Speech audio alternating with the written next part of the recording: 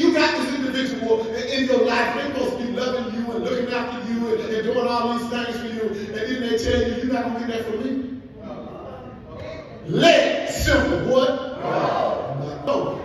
You don't have to beg authentic power. So, so, so why are you wasting your time trying to make simple-minded people, somebody don't catch this, understand?